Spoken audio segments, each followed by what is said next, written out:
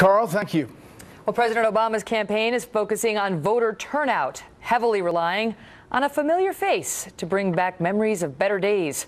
Chief White House correspondent Ed Henry joins us live from Cincinnati with more. Ed?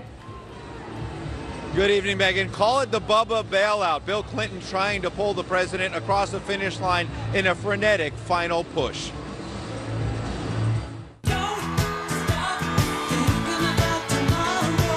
Right down to Fleetwood Mac's anthem that Bill Clinton rode to the White House twice, President Obama is cribbing from his predecessor's playbook. And everybody's playing by the same rules.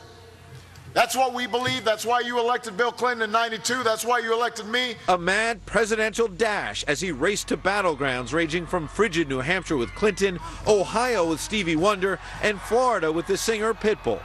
The Obama camp is confident its ground game will carry the day, though in private they're edgy about the battleground still being so tight, so they're pushing back on Mitt Romney's efforts to grab the mantle of change. We know what change looks like. What Governor Romney's offering ain't it.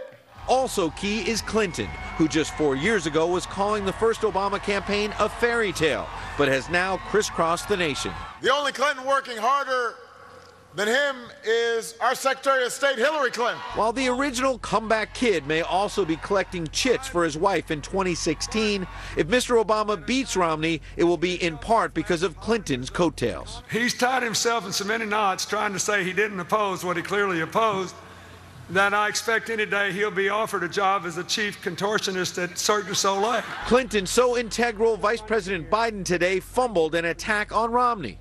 That ad you've seen that says President Clinton bankrupted Chrysler. And some of Clinton's lines are cringeworthy. Now, when I was a kid and I got caught with my hand in a cookie jar, I'd sort of turn red, shrug my shoulders, and take my hand out of the cookie jar. He's grabbing for more cookies.